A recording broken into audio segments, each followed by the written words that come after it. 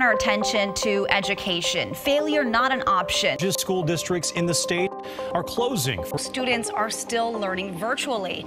Ms. Nicole Everett took of her classroom. Low numbers in regards to actual submitted work.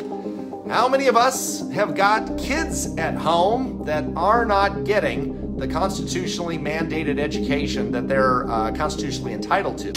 This latest lawsuit is designed to force the state to immediately reopen schools.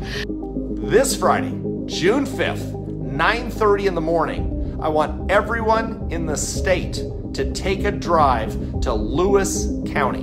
Come to Chehalis and let's pack that room with people that all care about their children. And let's watch our attorney, Joel Ard, make mincemeat out of the Attorney General's office.